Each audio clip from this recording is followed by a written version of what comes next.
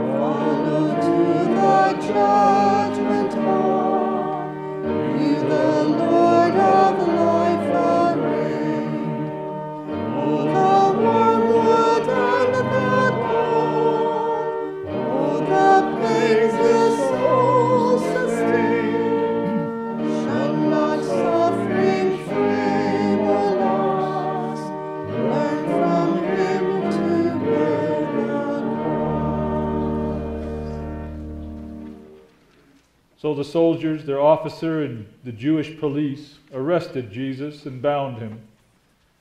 First, they took him to Annas, who was the father in law of Caiaphas, the high priest that year. Caiaphas was the one who had advised the Jews that it was better to have one person die for the people. Simon Peter and another disciple followed Jesus. Since that disciple was known to the high priest, he went uh, with Jesus into the courtyard of the high priest. But Peter was standing outside at the gate. So the other disciple, who was known to the high priest, went out, spoke to the woman who guarded the gate, and brought Peter in. The woman said to Peter, You are not also one of this man's disciples, are you? He said, I am not. Now the slaves and the police had made a charcoal fire because it was cold, and they were standing around it, warming themselves. Peter also was standing with them and warming himself.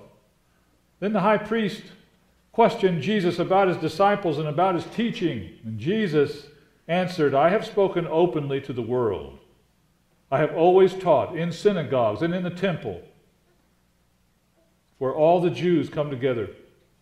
I have nothing, I have said nothing in secret. Why do you ask me? Ask those who heard what I said to them. They know what I said. When he said this, one of the police standing nearby struck Jesus on the face, saying, Is that how you answer the high priest? Jesus answered, If I have spoken wrongly, testify to the wrong. But if I have spoken rightly, why do you strike me? Then Annas sent him bound to Caiaphas, the high priest. Now Simon Peter was standing and warming himself. They asked him, You are not also one of his disciples, are you? And he denied it and said, I am not. And one of the slaves of the high priest, the relative of the man whose ear Peter had cut off, asked, Did I not see you in the garden with him? And again, Peter denied it. And at that moment, the cock crowed.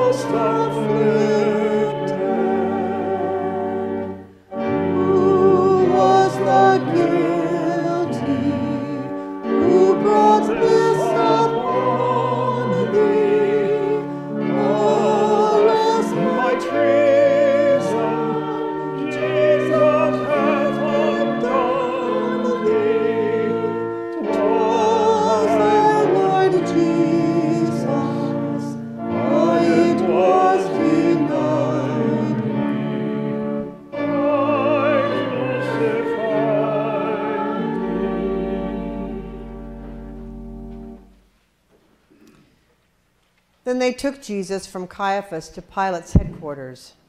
It was early in the morning. They themselves did not enter the headquarters so as to avoid ritual defilement and to be able to eat the Passover. So Pilate went out to them and said, What accusation do you bring against this man?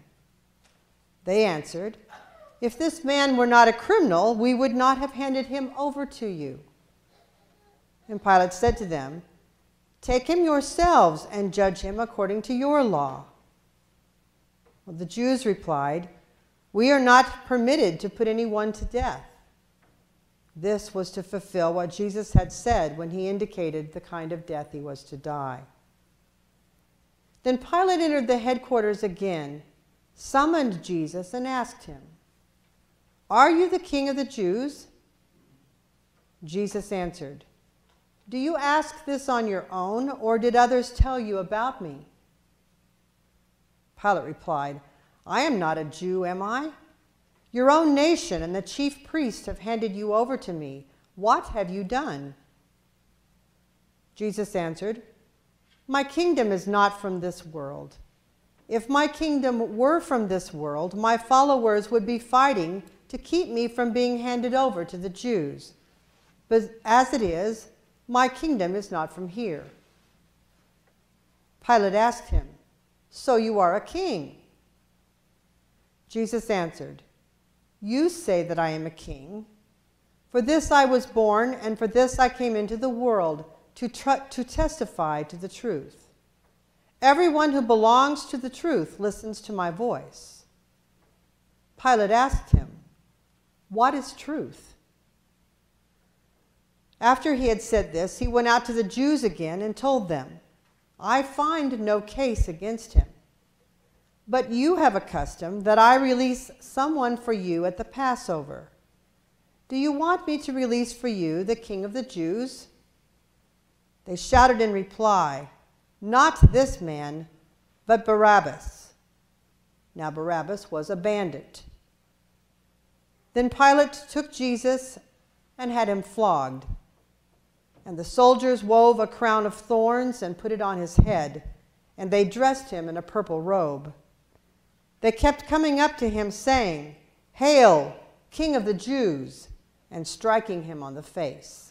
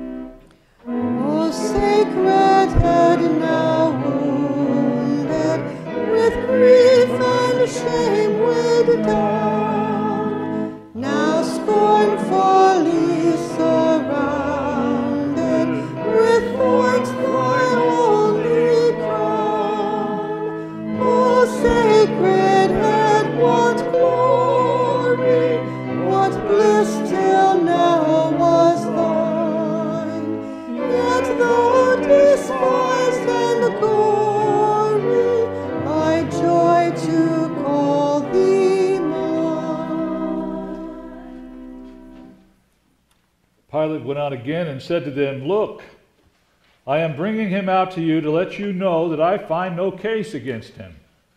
So Jesus came out wearing the crown of thorns and the purple robe. Pilate said to them, Here is the man. When the chief priests and the police saw him, they shouted, Crucify him! Crucify him! Pilate said to them, Take him yourselves and crucify him. I find no case against him. The Jews answered him, we have a law, and according to that law, he ought to die because he has claimed to be the Son of God. Now, when Pilate heard this, he was more afraid than ever.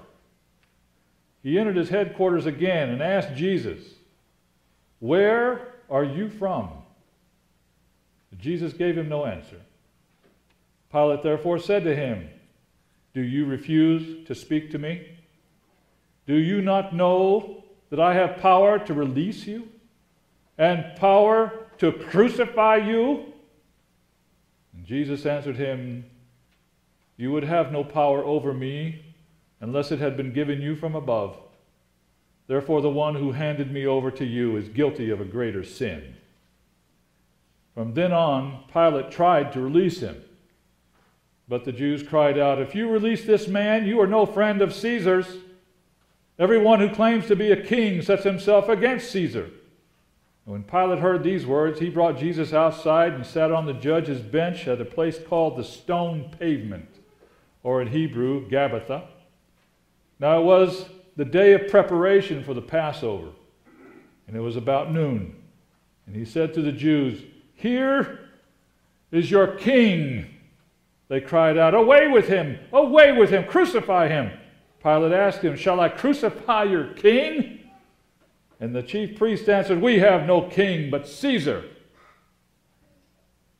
Then he handed him over to them to be crucified.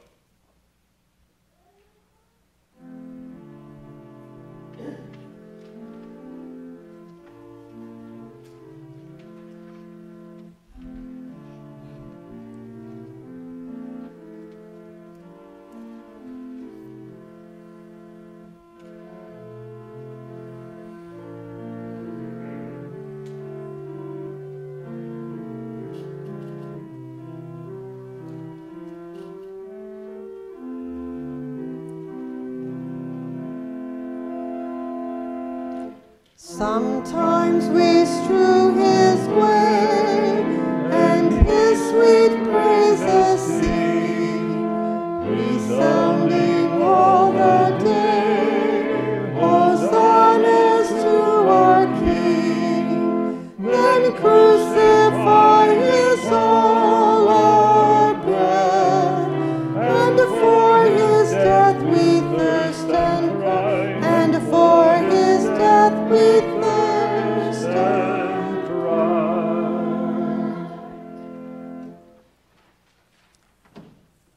they took Jesus, and carrying the cross by himself, he went out to what is called the place of the skull, which in Hebrew is called Golgotha. There they crucified him, and with him two others, one on each side, with Jesus between them. Pilate also had an inscription written and put on the cross. It read, Jesus of Nazareth, the King of the Jews. Many of the Jews read this inscription because the place where Jesus was crucified was near the city, and it was written in Hebrew, in Latin, and in Greek. Then the chief priests of the Jews said to Pilate, Do not write the King of the Jews, but this man said, I am King of the Jews. Pilate answered, What I have written, I have written. When the soldiers had crucified Jesus, they took his clothes and divided them into four parts, one for each soldier. They also took his tunic. Now the tunic was seamless, woven in one piece from the top. So they said to one another, Let us not tear it, but cast lots for it to see who will get it. This was to fulfill what the scripture says They divided my clothes among themselves, and for my clothing they cast lots. And that is what the soldiers did. Meanwhile, standing near the cross of Jesus were his mother and his mother's sister, Mary, the wife of Clopas, and Mary Magdalene. When Jesus saw his mother and the disciple whom he loved standing beside her, he said to his mother, Woman, here is your son. Then he said to the disciple, Here is your mother. And from that hour, the disciple took her into his own home. After this, when Jesus knew that all was now finished, he said, in order to fulfill the scripture, I am thirsty. A jar full of sour wine was standing there, so they put a sponge full of the wine on a branch of hyssop and held it to his mouth. When Jesus had received the wine, he said, It is finished. Then he bowed his head and gave up his spirit.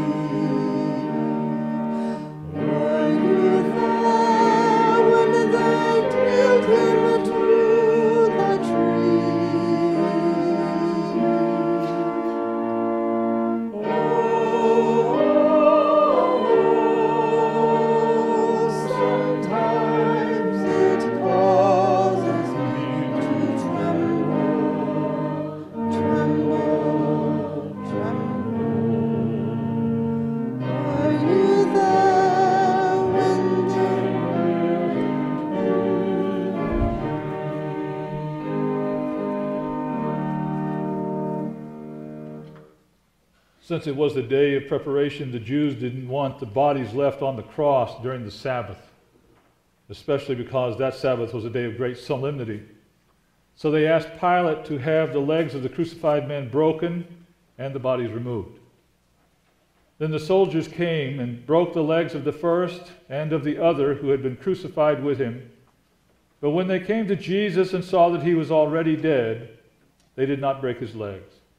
Instead, one of the soldiers pierced his side with a spear, and at once blood and water came out. He who saw this has testified so that you also may believe. His testimony is true, and he knows what he tells the truth. These things occurred so that the scripture might be fulfilled none of his bones shall be broken. And again, in another passage of scripture, it says, They will look on the one whom they have pierced.